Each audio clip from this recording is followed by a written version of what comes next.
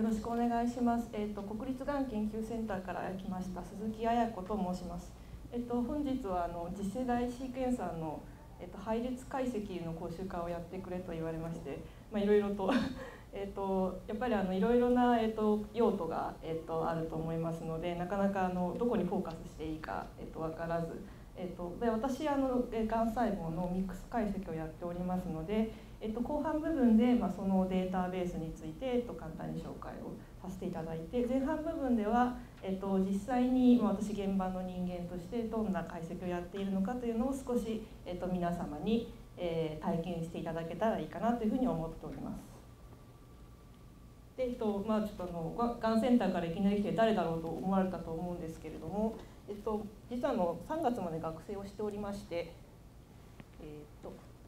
えっと、東大の、えっと、新領域の方の、えっとまあ、菅野先生と鈴木先生のところにおりまして、えっと、この統合推進化プログラムの、まあ、プロジェクトの方菅野先生関わっておりますのでおそらくその関係で今回、えっと、呼んでいただいたんだと思います。現在はこちらの、えっと、国立がん研究センターの先端医療開発センターというところにおりまして、えっとあのまあ、あの学生の頃から、えー、今職員なんですけれども今も次世代 C 検査を用いた、えっと、肺腺がんの、えっと、ミックス解析というのを、えっと、やっております。でえっと、本日も先ほど申しましたようにまずはとすごい簡単な、えっと、ことしかできないんですけれども、えっと、次世代シーケンサー、ま、RNA シークですね RNA のシーケンスの、えー、データシーケンスタグをヒトゲノムにマッピングをして、まあ、可視化をする、まあ、一連の、えーと、部分を、まあ、簡単に、えーと、流れを、えー、皆さんにやっていただくという部分とあと、まあ、後半部分で、えーと、こちらのそうですねもうこの、えー、とデータもちょっと関わってくるんですけれども、えー、とここの、えー、東大診療域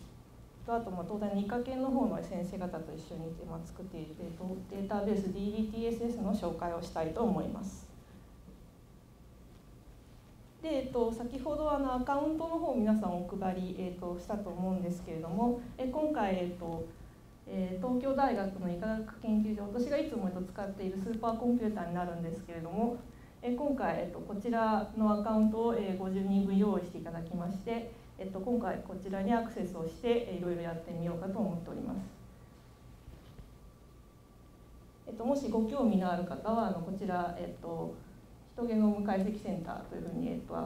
検索していただければあのホームページが、えっと、見れますので、えっと、こちらのスーパーコンピューターの部分を見ていただきますと、まあ、どんなスペックで、えっとまあ、どうすれば例えば借りられるかどうか、えっと、利用できるかどうかなのが、えっと、書いてありますのでもしあの、えー、例えば次世代シーケンサーの配列解析等をして、えっと、大規模なサーバーが必要だということがあればぜひあの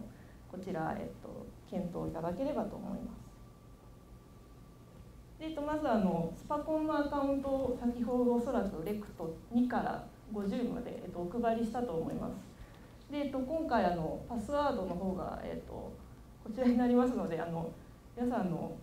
どこかに、えっと、メモをするかタイプをしておいていただけると、えー、ありがたいです。で今一人一人にアカウントを割り当てておりまして、まあ、ユーザー名あとパスワードもメモしてください。えっと、パスワード、えっと、おそらくあのえー、Linux 使える方も多い多いのかちょっとわからないんですけれどもいらっしゃると思うんですけど、まあ、パスワードは変更をしないでください。データで、えーと、このパスワードですけれども明日の、えーと、午前中に、えー、このアカウント、えーと、消滅しますのでそれまでは自由に使っていただいて構いません。あでメモ大丈夫でしょうか？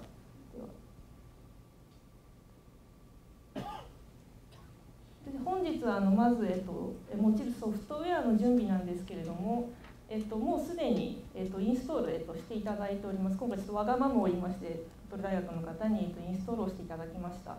えっと、テラタームというのがおそらくデスクトップ上にアイコンが出ていると思います、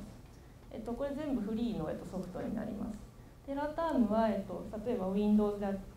であったりといった、まあ、パソコンからその例えばスパコンといった Linux 環境のマシンにアクセスするのに、えー、と必要な、えー、ターミナルのソフトになります。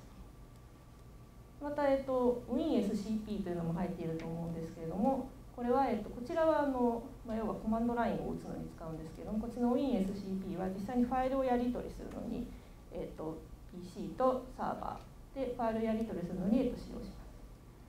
で最後、えっと、これは私がものすごくよく、えっと、研究で使っているんですけれども IGV ですね、えっと、 Integrative Genomics Viewer というものも、えっとえー、そこにインストールされているかと思いますのでご確認ください。あで、えっと、ちょっとあのサーバーでログインをする前にお聞きしたいんですけどもしかしたらものすごいあの情報をもうできる方がいらっしゃるとえっと、すごいつまらないので、えっと、例えばスパコンとか Linux 環境でもコマンドライン一通り、えっと、そういったことを普段やっておられる方っていらっしゃいますか？大丈夫ですかね？ものすごい初心者向けのものを持ってきてしまったので大丈夫でしょうか？じゃあこのまま進みます。えっとで、えっと、まずは、えっと、自分のその Windows のパソコンから、えっと、スーパーコンピューターにアクセスを、えっと、したいと思います。でテラタームを、えっと、クリックして、えっと、開いていただくとなんかいろいろ出てくるかと思います。で、えっと、こちら今回、えっと、この ngw.htgc.jp という、えー、白金2というサーバーがあるんですけれどもこちらに、えっと、アクセスをしますので、えー、こちらに ngw.htgc.jp というふうに、えー、打っていただいてで OK をクリック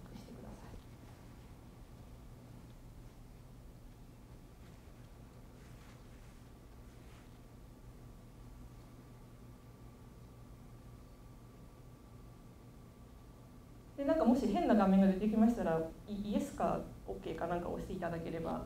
えーと、よろしいかと思いま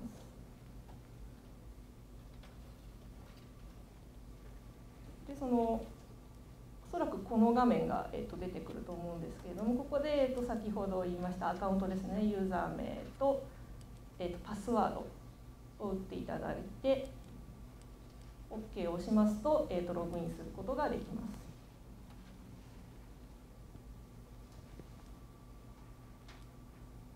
もし、えーと、うまくできないという方がいらっしゃったら、えーと、手を挙げていただければ、えーとえー、ヘルプに行きます。じゃ少し、えー、と待ちます、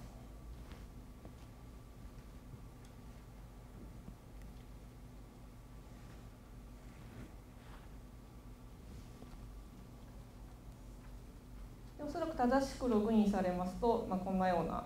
えーとコマンドラインを打つ部分が、えー、と出てくると思います。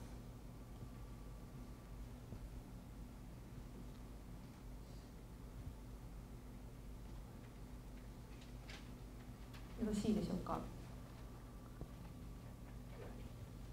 あ、まだダメですか？もしあの周囲で助けていただける方がいたら。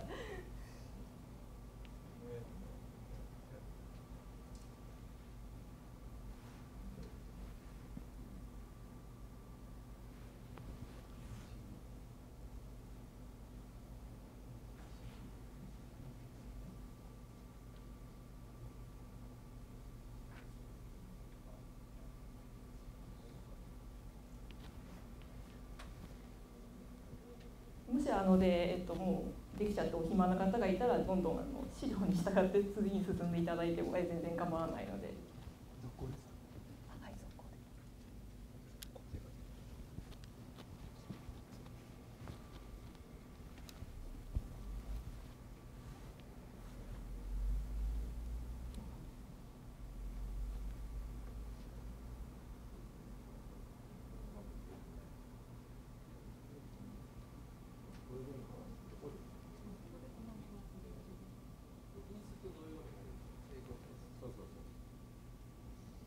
りあえずあのそうですねじゃあすいません一回やってみますね。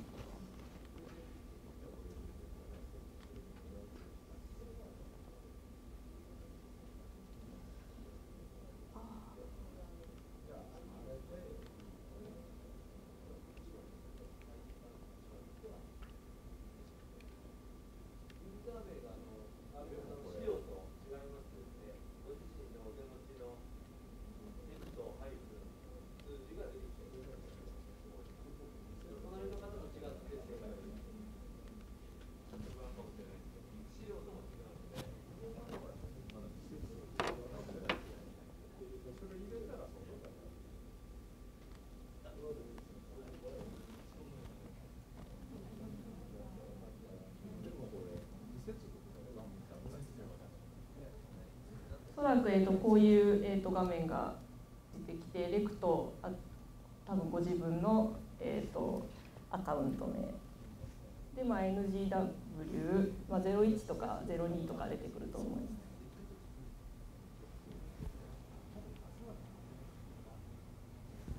でもしあのうまくいかない方がいたら一回、えっと、×で、えっと、切っていただいてもう一度入り直していただければよろしいかと思います。多分すぐこの画面出てくると思います。あ本当ですか。すいません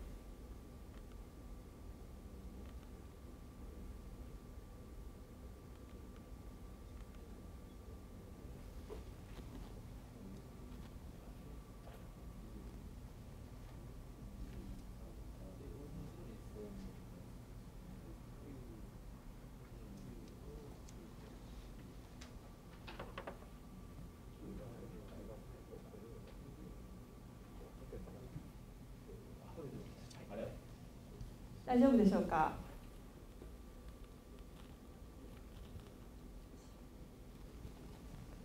ちょっとなんか、まあ、こんな感じにはならなかったのかもしれないですけども、まあ、このような、えっと、画面が、えっと、出てきます。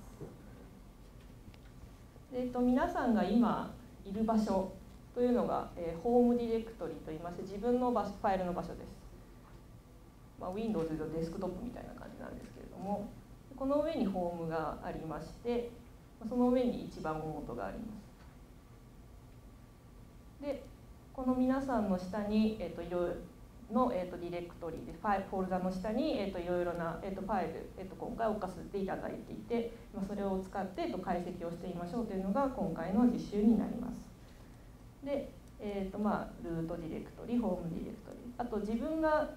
えー、とどんどん移動してと作業をしていくんですけれども今自分が作業しているディレクトリを、まあ、カレントディレクトリというふうに呼びます。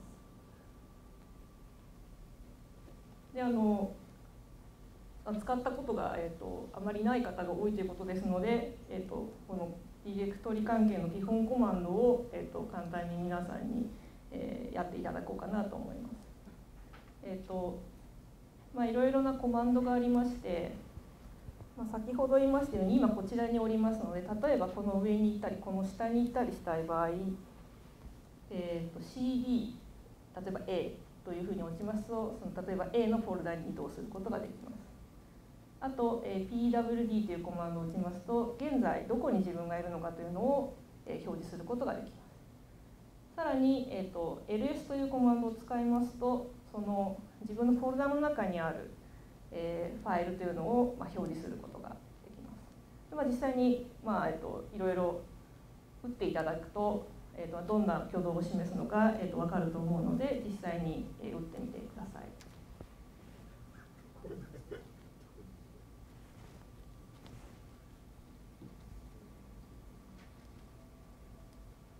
大体おそらくこんな形で出てくると思うんですけれども。例えば PWD を打ちますと今自分はホームの下のレクトいくつにいます。まあ、自分のホームディレクトリにいます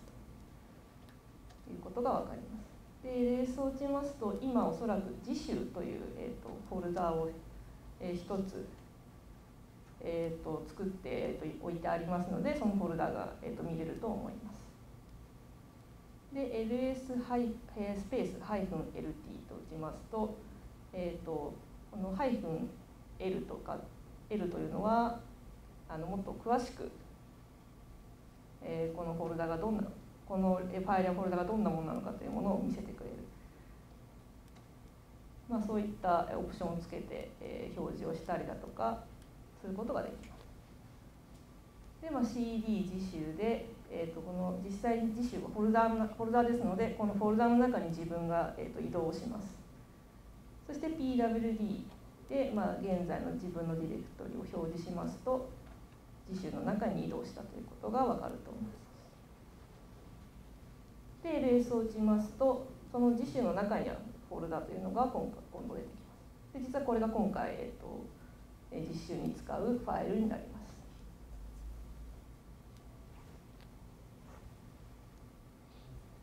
で最後に、えーと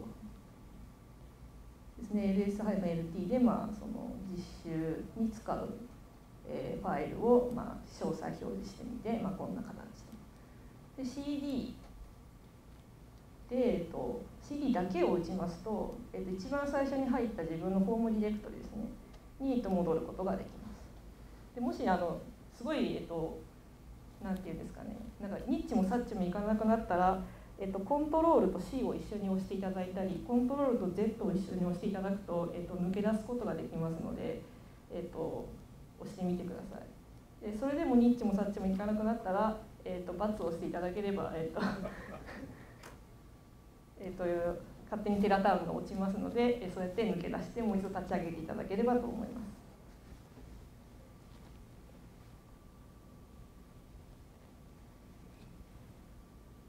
で今、えーとまあ、ディレクトリの基本コマンドで、えーとまあ、移動であったりだとかファイルを表示したりとする、えー、コマンドが、えー、を説明したんですけれども次にファイルの内容を表示するコマンドがあります。例えば cat というのはファイルの全部の内容を見せてくれたりだとか、まあ、ヘッドやテイルというのは、まあヘえーと、例えばヘッドというのは最初の10行だけを見たい。テイルというのは最後の10行だけを見たいだあとモアやレスはファイルの内容を1ページずつコマ送りで表示したりだとかという、まあ、そういったコマンドがあります。実際にそのサーバーの上に置いてあるファイルの中身が読みたいといった時は、まあ、こういったコマンドを使って、えーと、中身を確認してください。で、まあ、こちらにまあ実際にじゃあファイルの中身を見てみましょうということで、えーと、レクト1という、えー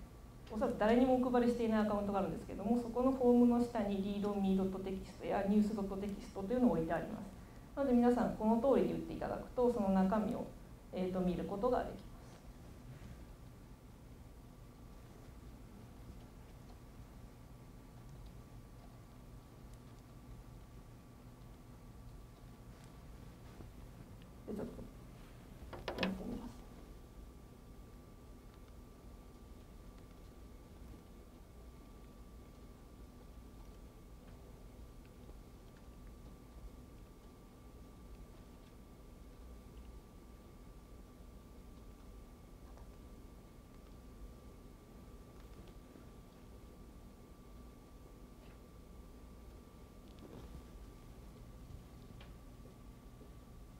でなんかあのファイルを最後まで打つのが面倒くさいなと思ったら例えばリードぐらいまで打っていただいてタブを押していただくと勝手に、えーと、続きを、えーと、表示してくれるので、えーと、そういった、まあ、便利な部分もあります。でまあ、エンターを押していただくとまずはあの一気に、えー、とファイルの中身を見ることができます。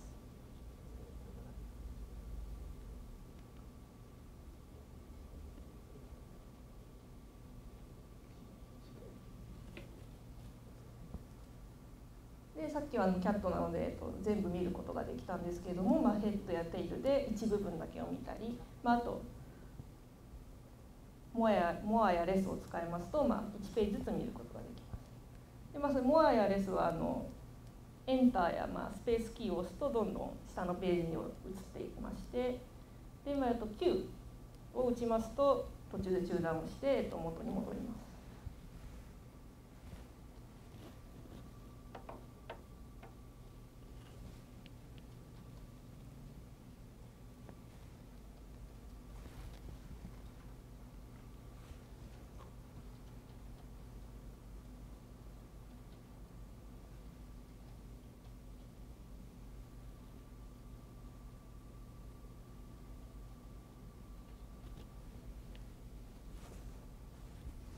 次に、えっと、ファイルのまああと今回そんなに使わないんですけれども、まあ、一応基本ということで、まあ、ファイルやディレクトリの作成や、まあ、移動削除のコマンドというのを、えー、とこちらに示しています。えーと、例えばファイルをコピーをしたいだとかあと新しいフォルダを作りたい例えばフォルダを移動したいだとかっていう時に、ま、こういったコマンドを使います。例えば、えー、とこちらですとまずは CD でフォームに戻っていただいて元の自分の、えーと、ホームハイフンレクトいくつかにっていう場所に戻ることができます。CD だけを打つと。でその後に、えーと、この例えばリードミー先ほど見ていただいたリードミードットテキストを、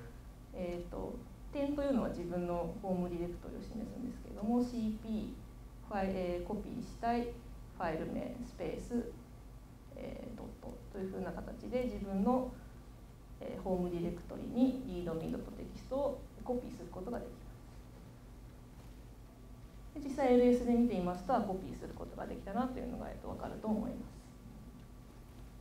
また、えっと、このメイクディレクトリですね。MKDIR ワークというのをまあ打ちますと先ほどあの次週というフォルダがあったと思うんですけれども、えっと、同じように、えっと、ワークというフォルダを作ることができます。で次にこの MV ですね。MOVE ですね。えっと使いますと先ほどコピーした readme.txt を今作ったワークというフォルダの中に移動することができます。まあ、実際にで、えっと、ワークの中に、えーと、移動していただいて見てみますとおそらくワークの中に readme.txt が、えー、入っているかと思います。で、えっ、とこれですねちょっと危険なコマンドなんですけれども、えー、リムーブですね、えー、ファイルを削除するコマンドがあります。readme.txt を rm-readme あ、えー、とスペース readme.txt でえーと、削除することができます。おそらく、えっと、ls-lt を打っていただきますとおそらく readme.txt が削除されてなくなっていると思います。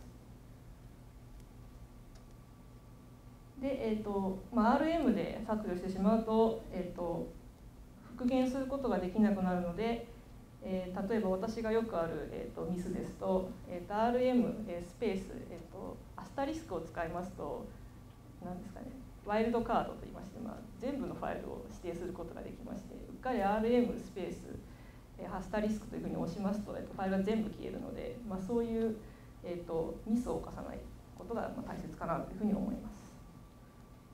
でまあ、実際こちらを打っていただくと、まあ、あの一連の動作というのが把握できるかと思います。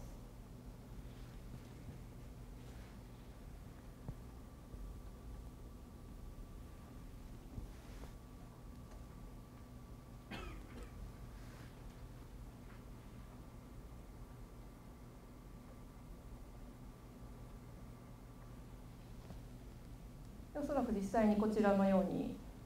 おそらく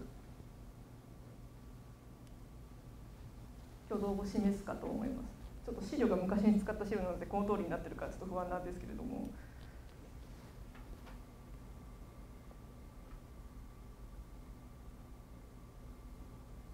でここまでが、えっとまあ、そのテラタームの上で、まあ、基本的に、まあ、どんなコ、えっとまあ、基本的なコマンドを使って、まあ、ファイルを、まあ、削除したり移動したりまあ、閲覧したりという、まあ、そういったことが、えーとまあ、できるということで、まあ、以上が、まあ、基本的な部分になります。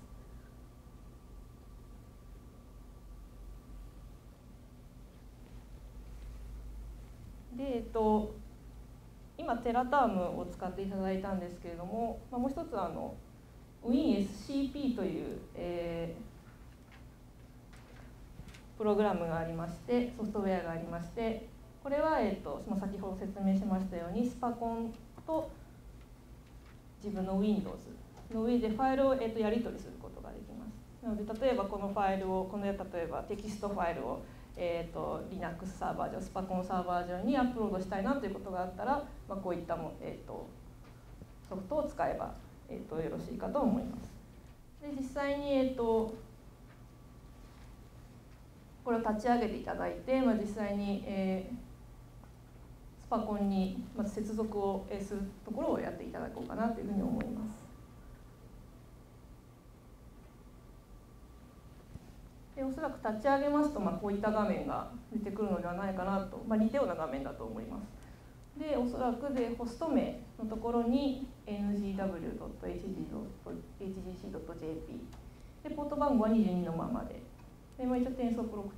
ところは SCP にしましてでユーザー名は先ほどの、まあ、テラタームに入った時と同じユーザー名でパスワードも同じものを、えー、と打ってください。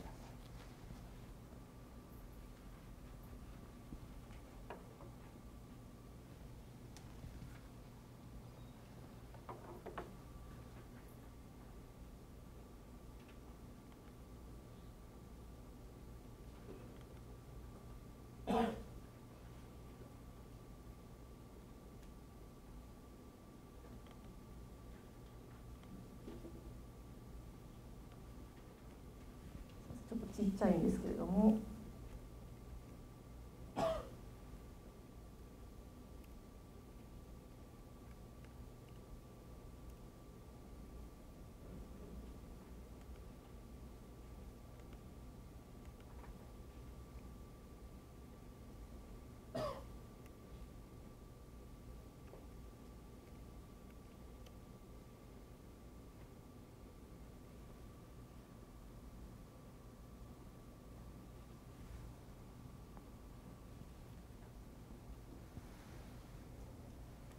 まあ、実際にこういう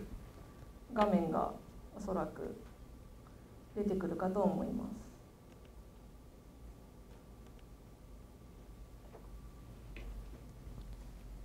でこちらが、えーと、皆さんの使っている、えーと、WindowsPC 側でこちらが、えーと、今回 Linux です。スパコンですね。スパコン側になります。なのでおそらく次週というフォルダーが、えー、とあるかと思います。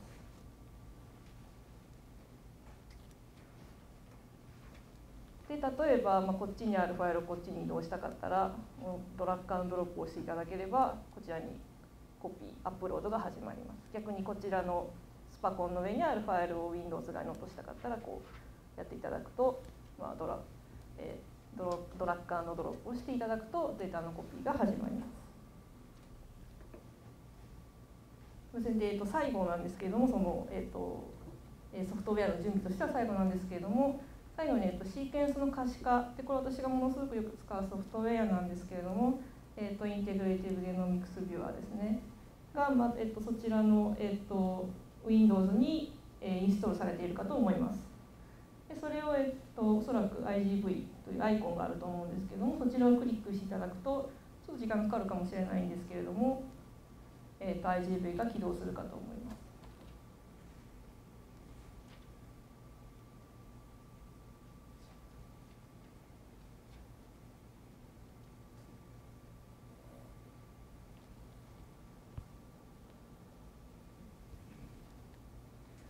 でもしあのこの画面が出てきまして起動しましたら、えっと、ここの部分を、えっと、を見ていただきたいと思います。でここは、えっと、今回、えっと、使う、えー、参照ゲノム配列を示していましておそらくもしかしたらデフォルトだと HG18 になっているかもしれないんですけれども HG19 を選んでいただければと思います。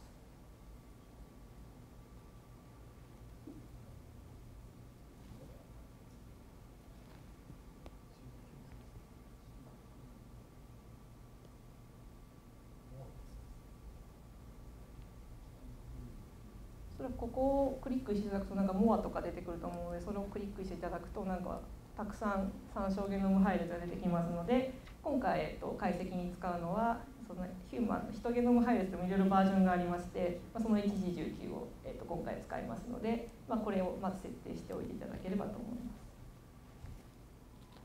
す。もしあのこれうまく起動しなかったり HG19 ない方がいたら、えっと、手を挙げてください大丈夫ですかね？ですみませんちょっと実感がそれかかってしまったんですけど、えーと、ここまでで、えーと、ソフトウェアの準備ということになりまして、まあ、やっとなんですけれども、えー、シークエンスタグのマッピングと可視化を行いたいと思います。で実際マッピングを本当に真面目に最初からやってしまうとものすごく時間かかってしまうのでちょっと小さなデータセットを使いましてまずはと実は自動的にえーと、行えるシェルスクリプトをまず用意しましたのでそちらでまず実行していただいて結果ファイルが出てくるのを待とうかと思います。で、えーと、まずテラタームを立ち上げていただいて、まあ、先ほど立ち上げたままの方はそのままで結構ですのでテラタームを立ち上げていただいて、まあ、ログインをしましてでこちらの、まあ、おまじないみたいなものを打ってください。これはあの実際スパコンにまず入そのまま入ると、えっと、あまりメモリをたくさん使うことができないんですけども5ギガのメモリを使いたいですという、まあ、そのそういう要求をする、えっと、コマンドになります。これはおそらくあのサーバーによっていろいろ違いますので、まあ、スパコンだけかもしれないんですけれどもまずはこれを打っていただいて5ギガのメモリを要求していただきます。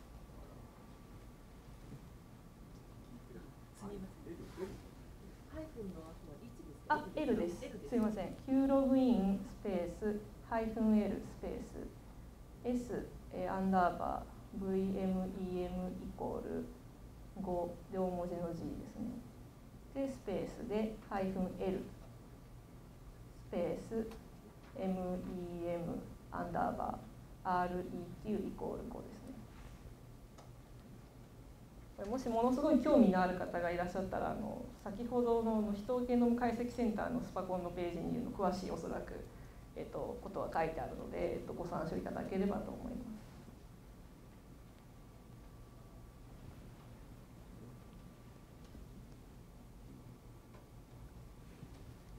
でこれを打ちますとなんかあのいろいろ submitted とかいろいろ出てきましてでまたもおそらく元の形に戻るコマンドが入力できる形に戻るかと思います。でそこで、えっとまあ、PWD を押していただくと、まあ、ちゃんと自分がホームにいるよというのが確認できるかと思います。でその後に、えっと、 change direct ですね、えっと、実習というフォルダの中に、えっと、入ってください。CD、はいえー、スペース、えっと、次週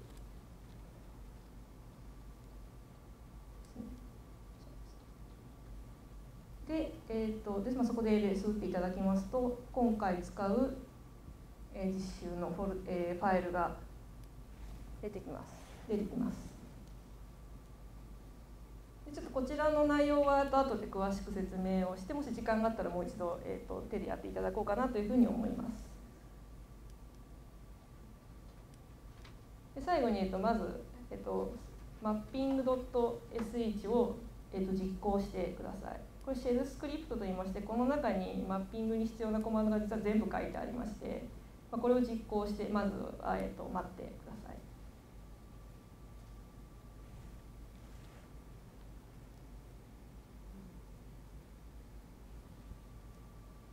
でこれを実行しますとなんかダーッといろいろ出てくるのでしばらく、えー、と放置していただければと思います。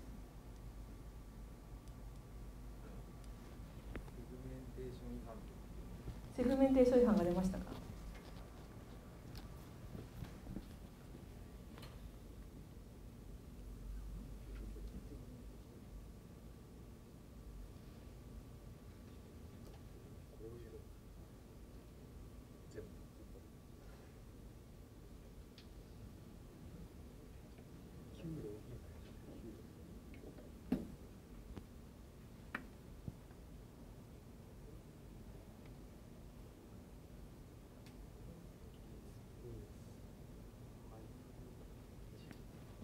他にセグメンテーション違反出た方いますか？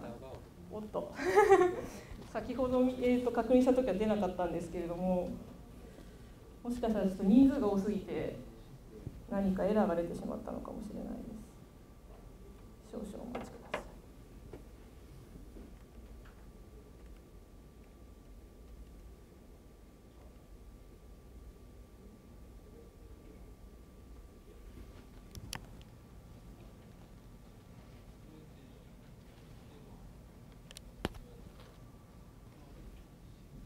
そうですねあの私そちらで確認した時は出なかったエラーなのでちょっとわからないですけどメモリが足りなかったりだとかあとあのもしかしたら同じファイルを皆さんアクセスしてるからもしかしたらちょっとエラーが出てきてしまったのかもしれないですね。ちょっと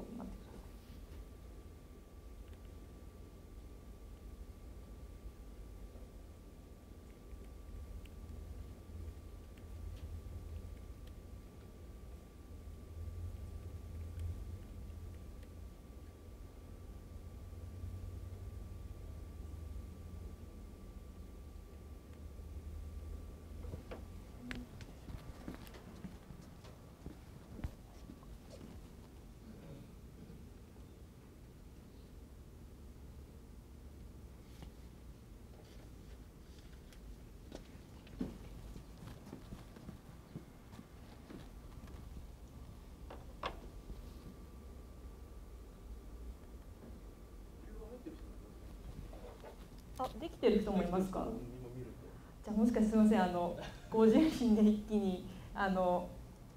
実は今ここに示しているのがあのレクトマン私が使っているところにだけあの参照の、えっと、今皆さんのディレクトリには RNA シークのシーケンスタグが置いてあるんですけれどもそれをヒトゲノムに、えっと、マッピングを今しようと思っています。どの部分の RNA が読めているのかというのを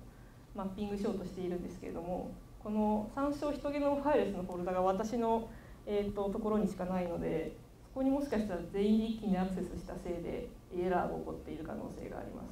すみませんちょっと50人分一気には、えっと、確認をしていないので30人だったらこの前大丈夫だったんですけれどももしかしたらもう一度やっていただくといける人もいるかもしれないですしすいませんちょっとあの確認不足です。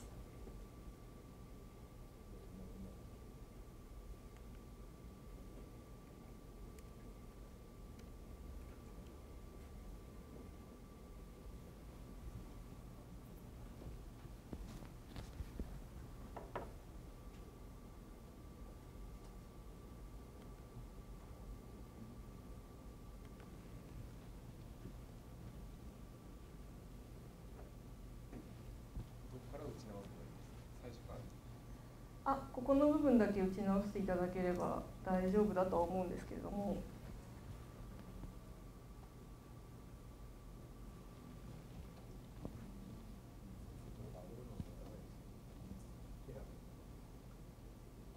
ダメですかね。もしダメな場合はあのちょっとまあできたファイルも用意しているので後で何とかします。すいません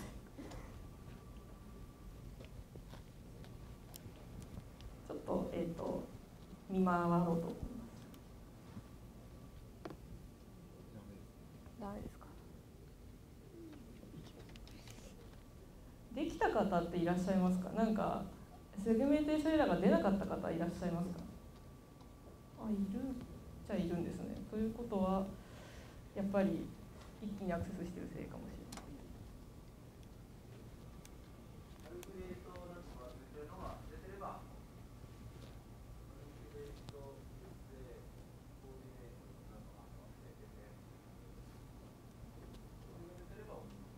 でこのマッピングの訂正値って10分ぐらいかかるので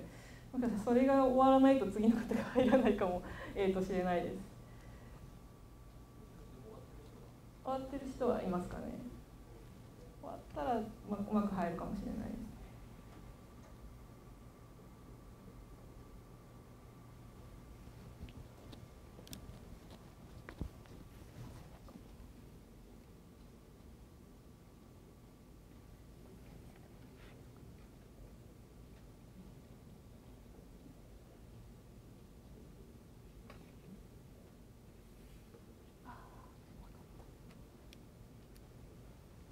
すみません分かりました。あのちょっともしかしたらそうじゃなくて理由が。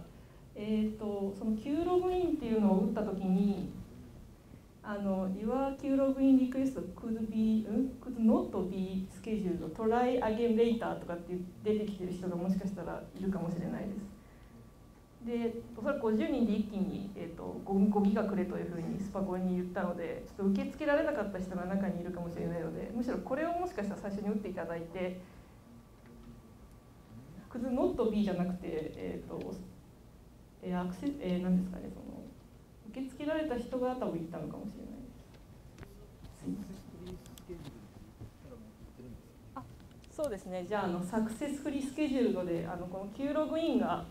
えーと、うまく入った人が言ってるみたいなのですいませんあの全然、えー、勘違いをしていましたがちょっと50人で一気に、えー、と言ったのでこれがうまくスケジューリングされなかった人が、えー、といるみたいですので。こちらをもう一度打っていただいていけばおそらくいけるかと思います。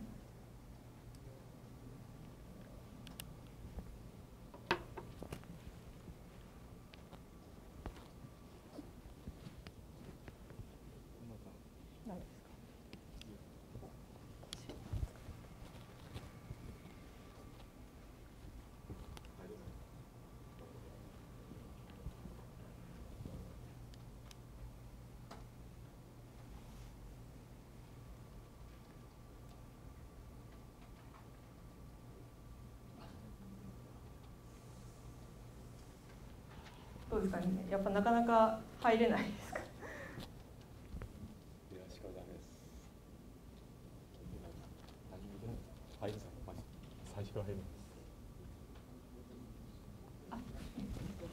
ゃなくて L このハイフン1っていうのをハイフン L にしていただくと。L ですか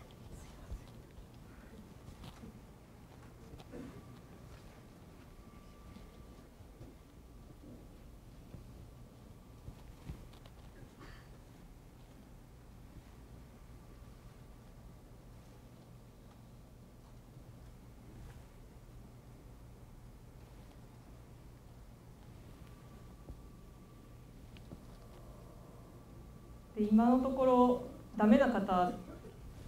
いらっしゃいますか？わ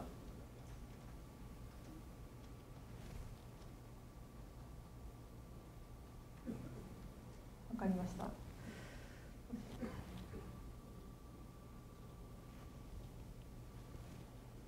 多分ちょっとあのおそらく今みんなでアクセスしているのでなかなか Q が開かないんだと思います。ちょっとあの先に進ませていただいてあのタイミングを見てこれを打っていただければ、えー、とありがたいです。でもしあの間に合わない方いらっしゃった後で、えー、と救済しますのでお知らせください。でちょっと先に進ませていただきます。で、えー、とこちらの中身はもう終わってる方いらっしゃるかもしれないですけども後で説明いたします。で、えーとまあ、あのマッピングを投げている間にいろいろとあの時間を稼ごうかなと思いまして、えっとまあ、次世代シーケンサー、まあ、今使っていますけども、えっとまあ、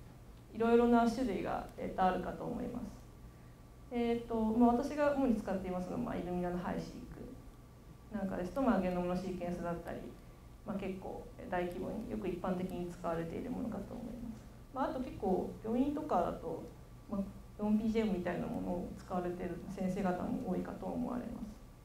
あと,、えーとそうですね、パックバイオ、えまあ、ご存知の方多いかと思うんですけれども自分史のリアルタイムシーケンサーで長く、えーと、読むことができて、まあ、最近ゲノムのシーケンスだったり、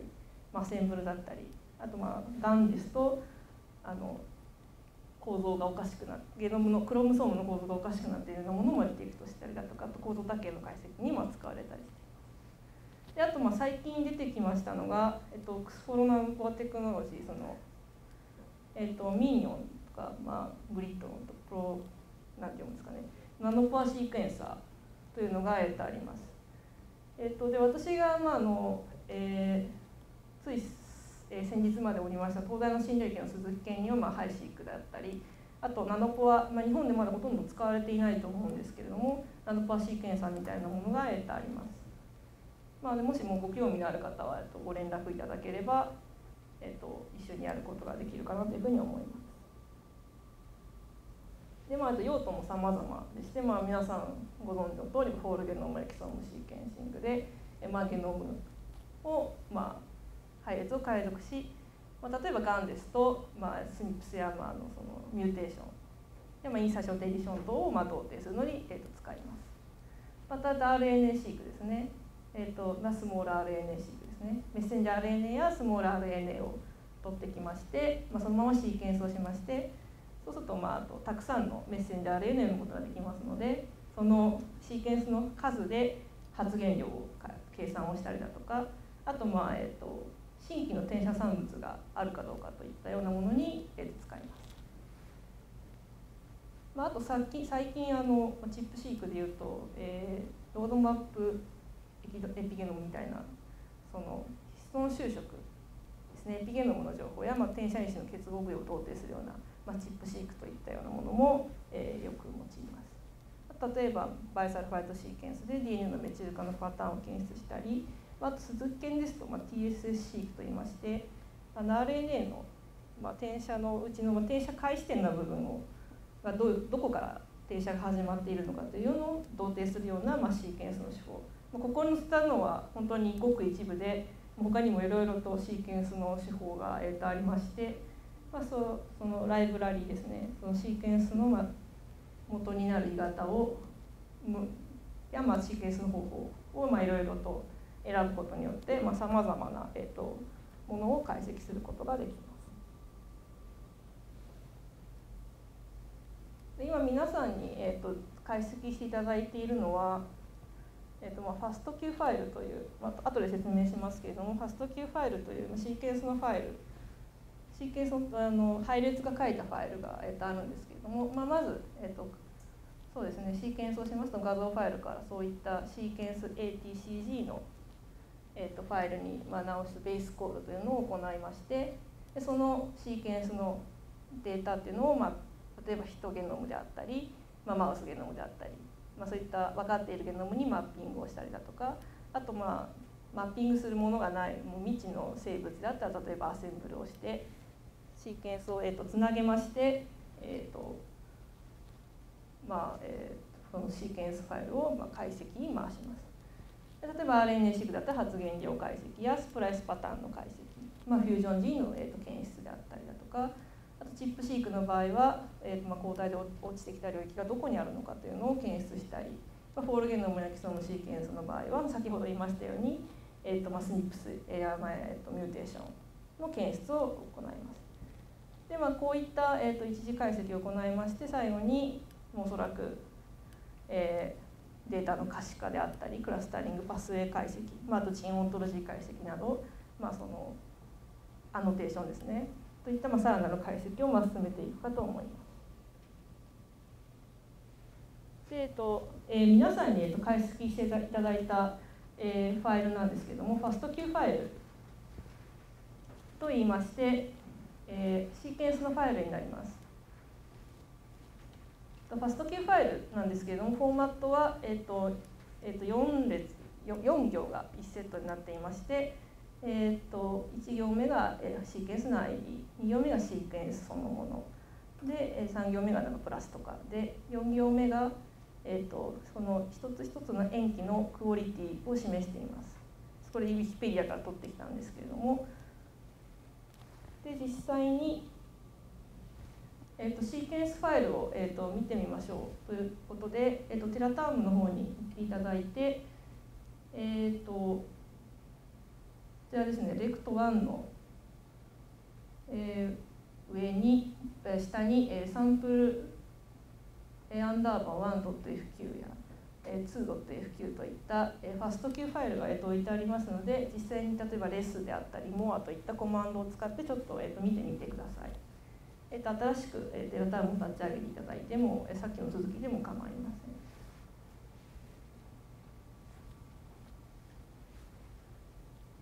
でおそらく、えっと、見ていただきますと、まあ、こういったシーケンスのファイルが見えるかと思います。これが実際に私が使用しているシーケンスのファイルになりまして、えー、と1行目がそのシーケンスの ID であったり、まあ、インデックスの配列であったり。で2行目が実際に読めたシーケンスですね。で3行目が、えー、とプラス。で4行目がクオリティをまあスキーコード示したものになります。実際におそらくあの例えば、えーと、シーケンスを例えばもう公開されているシーケンスをダウンロードしてくるといった時におそらくこここれこのファスト Q ファイルは一つの標準フォーマットになっているかと思いますので、えーと、これを覚えておかれるとよろしいかと思います。で実際にじゃあこのサンプルアンダーバー 1.fq の下に fq の中に何本のシーケンスが記載されているのかというのを例えば数えたい場合は、えーと、ワードカウントというコマンドを使いましてこう打っていただくと、えー、行数や単語数バイト数といった、えー、情報を得ることができます。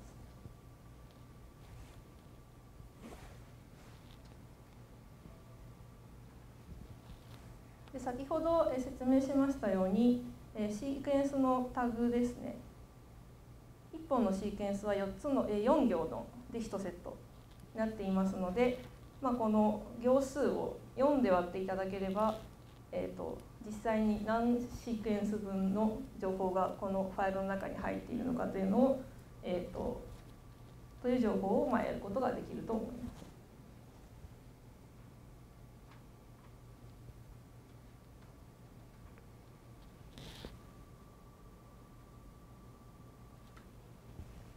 実際に今回使ったシーケンスファイルの中身を、えーと、見ていただければなと思います。えーとでまあ、次週の中に入っていただいて、まあ、LS でおそらく lc2ad.fq という、えーと、ファスト Q ファイルが置いてあります。この中身を見ていただければと思います。で、えーとまあ、今回使ったファイルというのがではどれ、えーと、実際に何本のシーケンスで、えーと、成り立っているのか今回解析に、えー、用いたのは何リード分なのかというのを実際に、まあ、ワードカウントのコマンドを用いて、えーと調べていただければなと思います。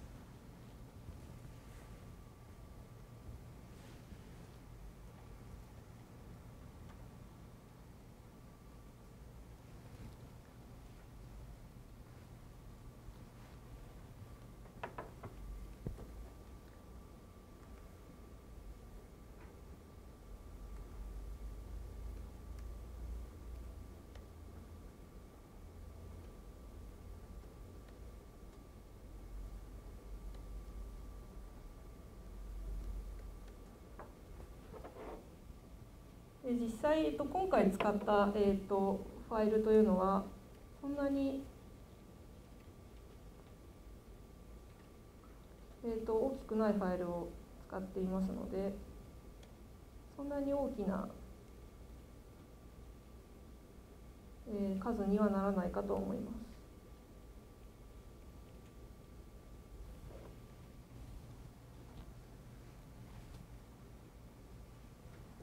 おそらくでまあこういった数字が出てくるかと思いますけれども、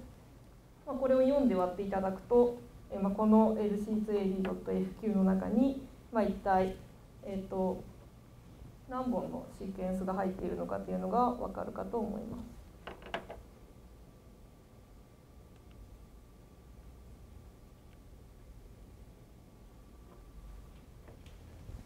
でここでようやく先ほどのマッピング .sh が何なのかというのを説明するんですけれども、えっと、まだ先ほどのができていない方いらっしゃいますでしょうか？あの Q ログインが。もう一度チャレンジしていただけますか？すいません。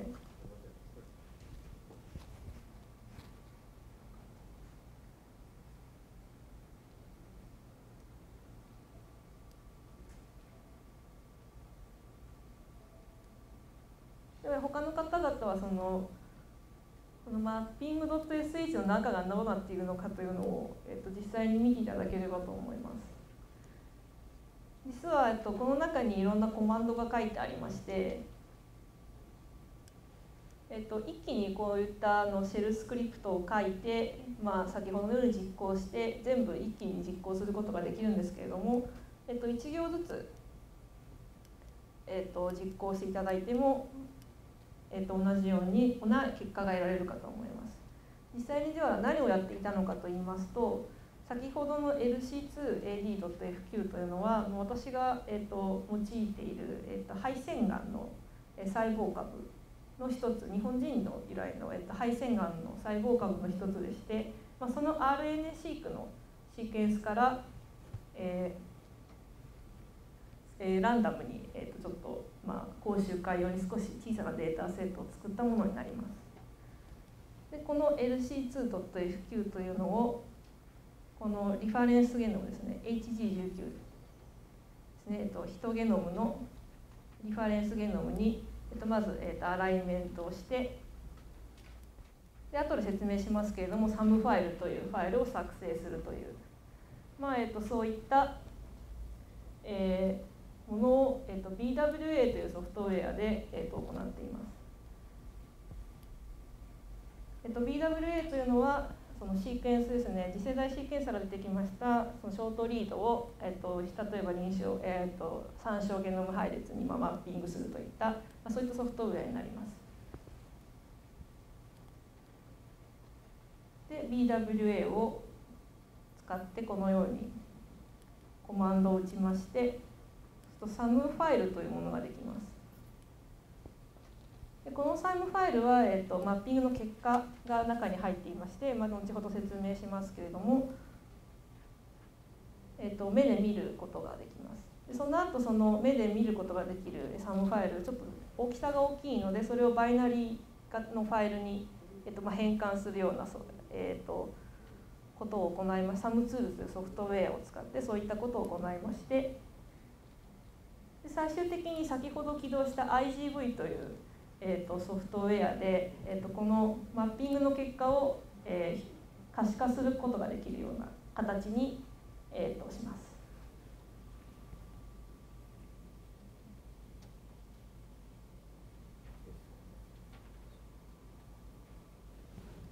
でマッピングのソフトウェアも様々でして今今回使ったのは実は BWA なんですけれども、えーとまあ、BWA ちょっと今回 RNA-seq の、えーと、マッピングに用いましたが実際は、えーと、ゲノムやエキソーム解析の方に実は適していまして、えー、と例えばミューテーションであったりスニップスであったり、えー、とインサーションやデリションといったものを、えー、と検出するために、えー、ととても適した、えー、とマッピングソフトウェアになります。例えばあとまあイルミナ社でね先ほどのシーケンサーを出している会社が出しているソフトウェアであったりあとそうですね RNA シークですと例えばトップハットをよく使うと思います。トップハットというソフトウェアは例えば RNA シークですと実際はあのゲノムにマッピングしてしまうとそのスプライスが起きている部分っていうのをうまくマッピングできないんですけどもトップハットはそういったスプライスのサイトをうまく考慮してマッピングをしてくれるため、まあ、RNA シークにまよく使われる標準な、えーと、ソフトウェアになるかと思います。であとま参照ゲノム配列なんですけれども先ほどあの、えっと、HG19 というのを用いると言いましたけれどもこれはあの UCSC の方から、えっと、公開されております、まあ、あと人の、えっと、参照ゲノム配列の、まあ、バージョンの一つです。えっと、一つ前の、えっと、バージョンになります。今多分 HG38 だと思うんですけれども。えっと、こちらの、えー、例えばダウンロードのページから、えっと、実際に、まあ、用いたい、えっと、参照ゲノム配列を探していただければ、えっと、いろんなデータがダウンロードできるかと思います。ですいません先ほどのマッピングですね。マッピング .sh まだできない方いらっしゃいますか？できないですか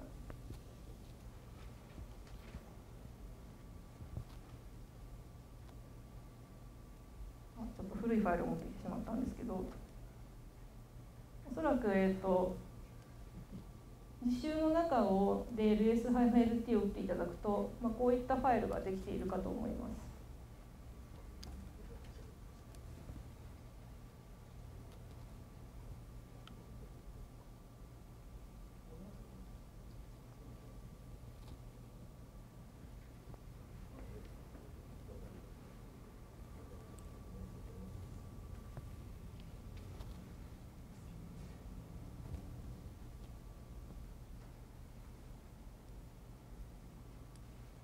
先ほど、えーと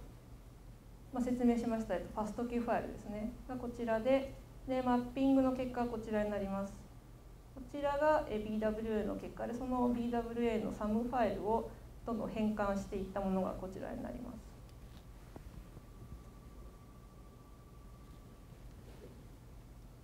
で、えっと、このサムファイルなんですけれどもサムファイルの中身を、えっと、実際に見ていただきますとえー、マッピングの結果というのが、えーと、見られるかと思います。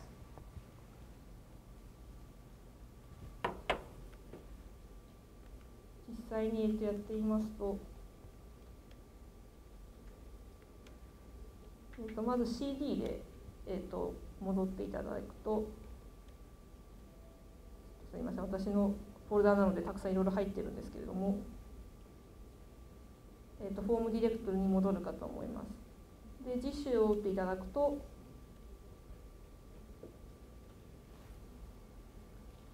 こういった、えーと、元のマッピング .sh や、えーと、ファストキーファイルのほかに、まあ、アウトプットファイルですねマッピングの結果が出ているかと思います。例えばこのサムファイルというのは見ることができますのでこうやって見ていただきますとなんかいろいろと出てくるんですけれどもまあ、スペースで進んでいただいて、まあ、こういった形でサムファイルの中身を見ることができます。実際でシーケンスの ID これ1列がシーケンスなんですけれどもちょっと下の方に行かないとかがない。例えばシーケンスのこのシーケンスですね。こちらのシーケンスはクロモソーム8番のここのポジションにマッピングされました。といったような結果が、えー、と見ることができます。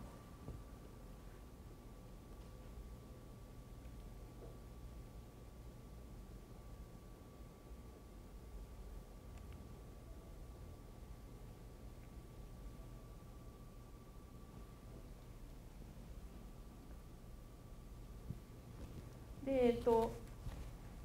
まあ、今 SAM ファイルの中身を見たんですけれども BAM ファイルというのも、えー、と作っていますこれは SAM ファイルをバイナリ binarize 化して、えー、少し小さくした、えー、とファイルなんですけれども、まあ、これは実は less や more でと見ることができないです。ただこの samtools view という、まあ、コマンドを使うと、まあ、 samtools という、まあ、ソフトを使いますと、まあ、これも、えー、とこのサムファイルと同じような形で見ることができます。で、えーと、そしてまあ先ほどマッピングした、えーと、結果を実際に Windows 上で可視化してみようということをやってみようかと思います。えっ、ー、と、WinSCP を、えーと、用いまして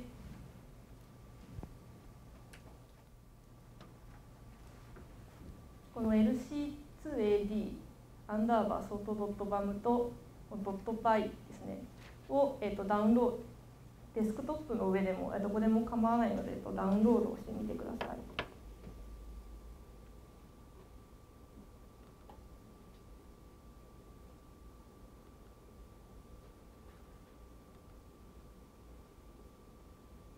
えっと、おそらく次週の下に、えっと、いろんな結果があります。こちらもデスクトップかなんかにしていただいて。えーと、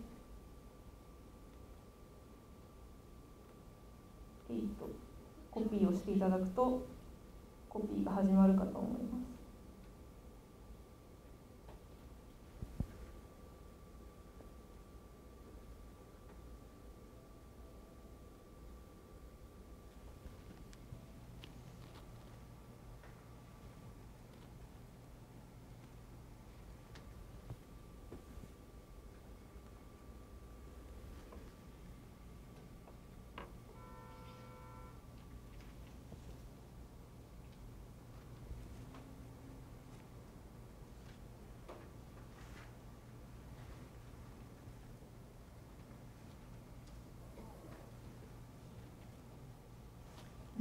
ネットワークのあれって皆さんが一気にもしかしたら使っているのでちょっと時間かかっているかもしれないですけれどもおそらくそうしますと,、まあえっと Windows の PC 上に、えっと、ファイルをダウンロードすることができるかと思います。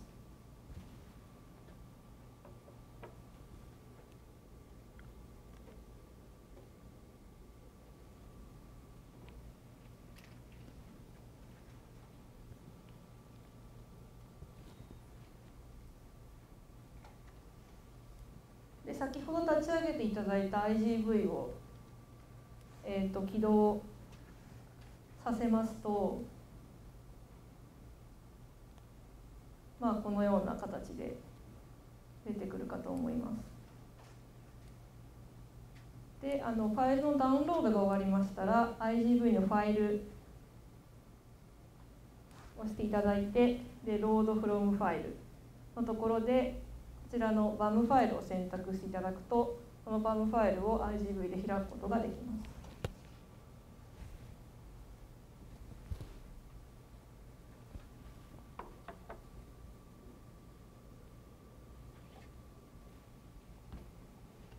でもしあのマッピングが終わっていなかったりちょっとエラーがってどうしてもできなかったりした方はあの WinSCP で例えばの RECT1 とか他のアカウントからマッピングの結果をダウンロードしていただいても、えっと、構いませんパスワードは一緒ですので、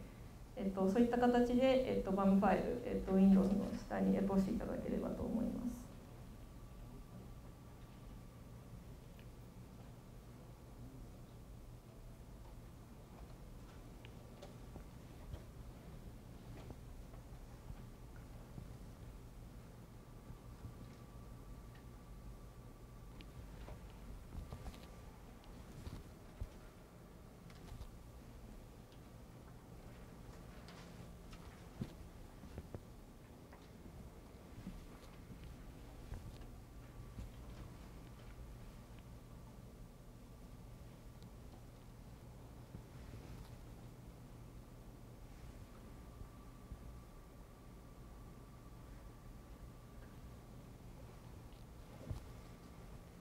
どうでしょうか？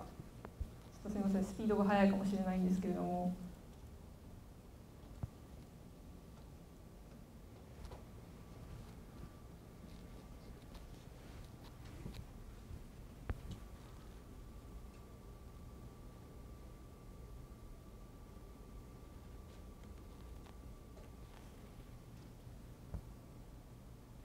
こちらのファイルからえっと、このバムファイル開く開けた方いらっしゃいますか？開けました開けましたちゃんと開けて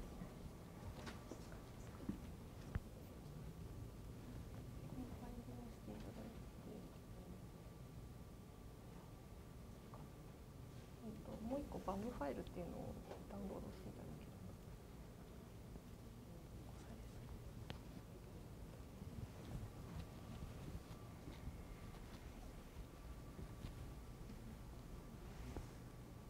みませんこのバムとバイを両方、えーと、ダウンロードしてください。こっちがまあ本体でこっちはこれをまあ補助する感じのファイルになります。で IGV で開くのはこちらになります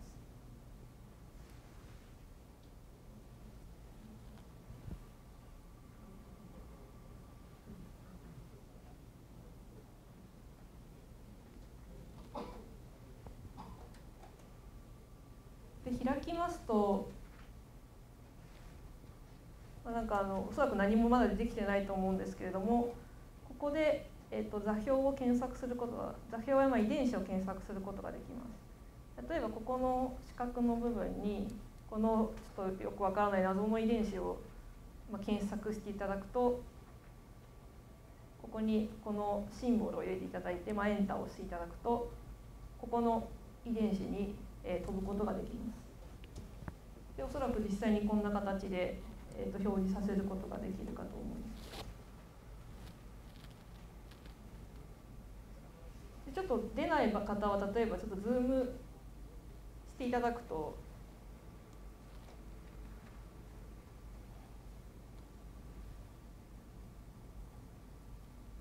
なんか出てくるかと思います。少し実証で小さいファイルで行っていますのでちょっとあのあんまり、えーと、シーケンスの数があんまりこの遺伝子にマップされていないんですが、えーと、これがこの灰色のものが一本一本のシーケンスになりまして、まあ、どこにこのゲノム上のどこにマップされているのかこの遺伝子上のどこにマップされているのかということが分かるかと思います。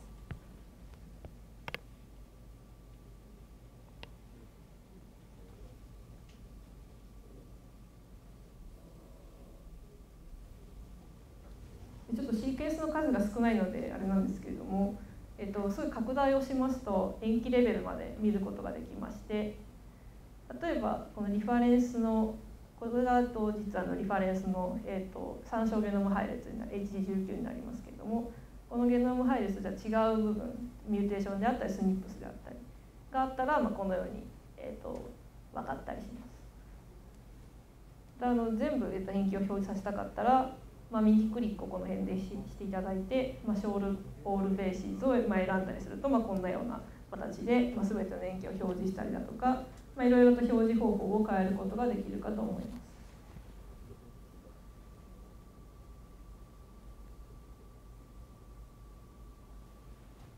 ちょっとこれおまけなので、えっと後でやっていただければと思うんですけれども、えっと構私はこの IGV を例えば論文のフィギュアであったりプレゼンテーションをするための図を作るのによく使うんですけれども、えー、まあこういった形で、えーと、ここにミューテーションがありますよっていうような、まあ、形で、えーと、見せることもありますし例えば RNA シークなんかですとこの例えばタブの分布みたいなものを見せたい場合があるので、まあ、そういった時はこの RANIGV ツールを使いますとこのさっきのシーケンスをよりカウントしてこう滑らかなデータにしてくれたりだとかあとまあ表示や色を結構いろいろ変えることができるので、まあ、結構のシーケンス NGS のシーケンスのファイルを、えー、ファイルの結果をまあ可視化するのにはよく IGV は使われているのかなというふうに思います。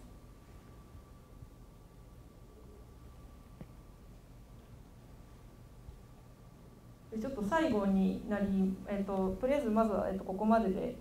えーと、そのマッピングの話は最後になるんですけれども IGV を見ていただいたんですけれども、まあ、先ほど見ていただいたように、えーと、もう一つの遺伝子上にじゃ例えばこれは RNA シークのタグだとして RNA シークのシーケンスのタグがじゃいくつマッピングされているのか。例えばたくさんマッピングされていればたくさん発現していて例えば全然マッピングされていなければ全然発現していないんだなっていうのが分かるかと思うんですけれどもじゃあこれをどうやって発現量に直すのかといいますと、まあ、大体の場合はこれを一つ一つ数えるんですね。ただ、えーと、おそらく、えーと、目視で数えるのはとても大変なので私たちはこれをプログラムを書いて、えーと数えています。で実際に例えばサムファイルさっきのマッピングの結果ですねクロモソームのどこの何番にのどこにマップされているかといったような、まあ、データこういった結果を用いて例えばここの遺伝子の上にマッピングされているリードの数を数えてみましょうといったようなファイルを、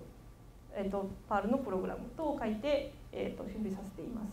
ただちょっと今回あのあまりあのこういったパールのプログラムとかそれを書いたこともある方がそんなにいらっしゃらない C とか書いた方ける方とかいらっしゃったらもしなったらチャレンジしていただければと思うんですけれどもちょっといらっしゃらないみたいなので例えばこれはあのあの鈴木健の SE さんが、えっと、書いてくれたものなんですけれども例えばこういったコマンドを打ちますと例えばこの例えばクロモソーム1にマップされているものだけ抽出する。それが何本なのかを例えばワードカウントで、えー、確認するだとかということがまあできます。さらに、えーと、ここに例えばこことここの間にある条件を足して表示させたり、まあ、カウントしたりだとか、まあ、そういったことが、えーと、できます。実際に確かにパールとかプログラムを書いて、えーと、とこういったことを数えることが多いんですけれどもちょっとなんか敷居が高い部分も若干あります。ただもしあの、えー、とパールパール結構簡単なので、えー、ともしあの勉強されるともうすごいあのこういったことが何でもできるようになるので、えー、とすごいあの次世代シーケンサの、えー、と結果を、まあ、その例えば数えたりだとか自分で好きなように、えー、とファイルの、変換をしたりだとかということができるので、えー、と便利かと思います。で発現量で先ほどの RNA シークのデータを、えー、と今可視化してみてもらいましたけれども実際発現量の算出は、まあ、先ほど言いましたように、まあ、遺伝子領域にマップされたシーケンスのタグを数えまして、まあ、それをそうですねあの多くの場合は、えっと、シーケンス全体の数で normalize をしてさらにまあ遺伝子の長さによって、えっとまあ、差が出てしまうので遺伝子の長さでまあ normalize をした、まあ、RPK みたいなものを用います。で先ほどはあの、まあ、 Perl で遺伝子プログラムでまあ、遺伝子上のシーケンスのタグを全部数えるみたいなことを言ったんですけれども、えー、実際はまあそういったことも全部やってくれるプログラムがありまして、まあ、これも一応 Linux 上で動かすプログラムにはなるんですけれども先ほどは BWA でマッピングしましたが例えばトップハットという、えー、とプログラムでマッピングをしてカフリンクスというプログラムで、転写産物の検出や発現量の算出をしてさらにカフリフというものを使いますと、まあ、サンプル間の発現量の比較であったりだとかリファレンシャルエクスプレスジーンの検出等を行ってくれます。これよくおそらく、えーと、使われている RNA シークの発現量のデータの解析の、まあ、パイプラインの一つになるかと思います。で、まあ、こういったもので例えばそうですね正常組織と例えばがん組織で優位に発現量が異なるような遺伝子を探索しましたらまあ、そういったものを可視化してみたりだとかあとおそらくこの後もしかしたら紹介があるかもしれないですけどデイビッドみたいなウェブで、えー、とできるような、えー、ともので例えばその遺伝子そういった遺伝子群の中にどのような遺伝子群、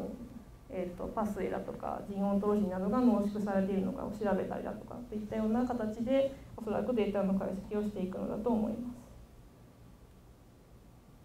で今回用いたデータは、えっと、実施用の小さいファイルなんですけれども、えっと、こちらのこの後紹介しますデータベースの DBTSS という、えーと、ところのダウンロードページに、えーと、実際の、えーと、細胞株の、えー、と本当のもっと大きなデータが、えー、と置いてありますのでもしご興味のある方はそちらを参照してくださいまたあのそれをさらにトップハットですね先ほど言ったそのツールでま解析をして最終的に発言量まで落としたデータもありますので、まあ、そういったものを見て、えーとまあ、どういったふうに解析を進めていくのかというのをちょっとあの、えー、と見てもらえればいいかなというふうに思います。でここまでがあのちょっとすみませんいろいろいろいろとあのエラーもたくさんありましてちょっとご迷惑をおかけしたんですけれども、えーと、マッピングの、えーと、体験をしていただきまして最後にあの、えーと、ちょっとあの私たちの方で作っていますデータベース DBTSS の紹介をちょっと時間ギリギリまでやらせていただければと思います。とまあ、あの私の講習会のタイトルが「がん細胞のミックス解析」みたいな形のものだったと思うんですけれども、えーと、実際に、えーと、現在、えーと、私たちが行っていますのは、まあ、人のそうですね例えば変異情報みたいなものがおそらく今ものすごい勢いで蓄積しているかと思います。ただまあこの変異情報だけあってもあのすごい分かりやすい変異情報ももちろんあるんですけれども例えばここが変異していたらがんになるっていうのは分かっているようなものもありますけれども多くはよく分からない部分もたくさんあるかと思います。そういったものに対してじゃあどうすればいいのかで、まあ、例えばアノテーション文献情報から検索をしていろいろとアノテーションをつけていくという、まあ、ストラテジーもあるかと思いますけれども、まあ、私たちは特にそこに例えばエピゲノムであったりトランスクリプトームの情報ここの変異のじゃあ周辺で何が起こっているのかというのを、まあ、重ねていくといったような、えーと、研究を行っています。で、えーとまあ、そのデータを、まあ、ちょっと結構前から DBTSS というのはあるんですけれども、まあ、その DBTSS に、まあ、統合する形で、まあ、今回、えーと、私がまあ研究しています肺腺がんの、えーと、ゲノムエピゲノムトランスクリプトモのデータというのを、まあ、こちらに、えーと、実は統合しておりますので、まあ、その紹介をしたいなというふうに思います。で、えっ、ー、と、ちょっとでもしあの興味のある方はあのこちらの、えー、と URL にちょっとアクセスしていただいて、えー、とデータベースの、まあ、DBTSS を、えー、と検索していただければと思います。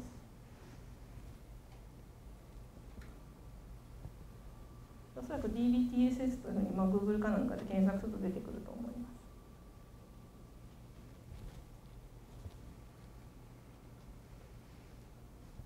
であのまあトップページのちょっと下の方の左の方にデータコンテンツがあるんですけれどもここにはじゃあどんなデータがあるのかというのが、えー、と見られるかと思います。例えば TSS シークだったり、まあ、転写回してのシーケンスのデータだったりチップシーク、まあ、RNA シーク、まあ、あと、まあ、リップシークバイサルファイトシークや、まあ、あとスニップスのデータ、まあ、いろいろあります特にまあ細胞株を中心に、えー、とたくさん揃えておりますでこの中に、えーと、私が、えーと、解析しておりました、まあ、肺腺がんの細胞株のオミックスデータというのを公開しております、えーと、26種類の、まあ、 whole genome、えー、と bisulfite シーケンスあと ChIP-seq 8種類あと TSS-seq RNA シークあとスモール RNA シークのデータが全て、えー、とここから公開されております。あとヒトの多型の変異情報もたくさん格納されておりまして例えば ICGC や TCGA といった、まあ、まあよく言われているような、まあ、と国際コンソーシアムのデータで、まあえっと、アバイブなものを、えっと、格納したりだとかあと,、えっと公立がん研究センターの東病院のプロジェクトもいくつか関わっておりますのでそちらの、えっと、ミューテーションのデータ等も、え少し格納しております。で先ほどあの LBTC の紹介の中で人のデータベースですね。あの人のその配列情報を格納するといったご紹介があったと思うんですけれども、えっと、こちらの、えっと、肺腺がんのシーケンスデータもこちらにこの1番ですね、えっと、アクセッションナンバーですかね。この、えっと、リサーチ ID で、えっと、格納させていただいております。まあ、あと、えっとまあ、いろいろながんのデータであったりあと日本人のスニップスのデータがすごい今、えっとしえー、よく集められていると思います。例えば東北メガバンクであったりだとか、まあ、こういったデータも格納しております。で実際に、まあえっとまあ、遺伝子を察知していただくと、まあ、TSS のビューワーですね。もともとが DBTSS といいましても転写回してのデータベースですので DBTSS の、まあ、TSS のビューワーがあったりあと、まあ、ゲノムビューワーを押していただきますと、まあ、先ほど言いましたゲノムエピゲノムトランスクリプトムのデータを統合したようなゲノムビューワーを見ることができます。でまあ、実際 EGFR で検索していただきますと、まあ、こういった形でこちらは TSS ビューワーになりますけれどもこのさまざまな細胞株でどこ転写回線はどこから始まっているのか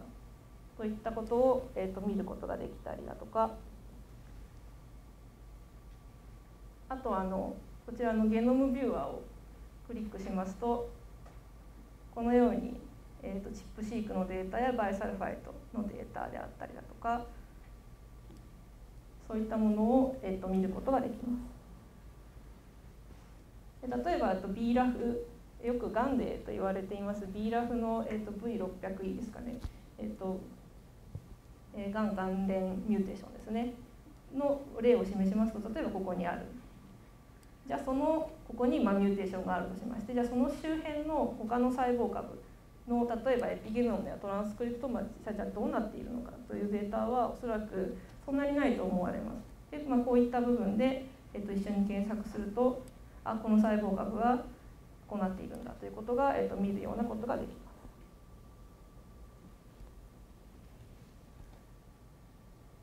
であのこの、まあ、ゲノムビアの中にクロム HMM というのが、えーと、あるんですけれども、えーと、チップシークのデータは今回あの私なんかも例えばヒストン就職だけでもすごい何種類もたくさんありましてあと K4 のトリメチル K36 のトリメチル K27 のトリメチルとかアセチルとかまあ、たくさんあるんですけどもそれを例えばダーって全部並べてしまってもよくわからないので例えば、えっと、クロム HMM というこれは、えっと、こちらですね。こちらの論文が出している、えっと、ソフトウェアになるんですけれどもシークのそういったデータを全部入れると例えばクロマチンの状態をパターン化してくれまして、えっとまあ、こういった形であるかな。例えばまあこういった形ですね、えーと、 active promoter だとかここはエンハンサー領域でここは例えば elongation をしているんだとかいったそういったふうに、えーと、クロマチンの状態をパターン化してくれるソフトウェアというのもあります。私はよくこれを使っていまして例えばあと ENCODE や例えばロードマップ b ジェノミクスプロジェクト等の、まあ、有名な国際的なプロジェクトのデータも ChromeHM のデータがたくさん公開されていますので、まあ、こういったものをダウンロードして、まあ、先ほどの IGV でも実は見ることができますので、まあ、そういったものを、えー、と見て、まあ、比べるっていうことも一つ、えー、とあるのかなというふうに思います。で、えーとまあ、最後に、えー、と DBTSS ですけれども下の方にパスウェイマップというのがあります。でこちらをクリックしていただきますとパスウェイが一覧が出てきましてで実際にいろんなパスウェイが出てきますでそのパスウェイの上に例えばある細胞株の RNA シークのデータであったりチップシークのデータといったものを表示することができます。まあ、こういった、えっと、実は機能がたくさんあってあの26の配線が細胞株とかあと、まあ、例えばヒーラーであったり293であったり、まあ、よくある細胞株のデータであったりまあすごくたくさんのデータを、えーと、格納しております。だからまあ、えっとまあ、取ったはいいけどなかなかどう使っていっていいのかっていうのもありますのでぜひあの皆さん使データを使っていただければありがたいかなというふうに思います。あですいませんあの時間は大丈夫ですかね以上になります。えっ、となんかあのいろいろトラブルとかありましてちょっとなかなか、えーとうまく進められなかったんですけれども、まあ、最後にあのこちら今回スパコンをお借りしましたのは、まあ、東京大学のメタ学研究所のヒトゲノム解析センターの方々とあとまあ新類期の鈴木先生に、えっと、手配していただきました、まあ、あとあの IGV やマテラタームとこちら用意していただいた先生が本当にありがとうございました。はい、じゃあの以上です。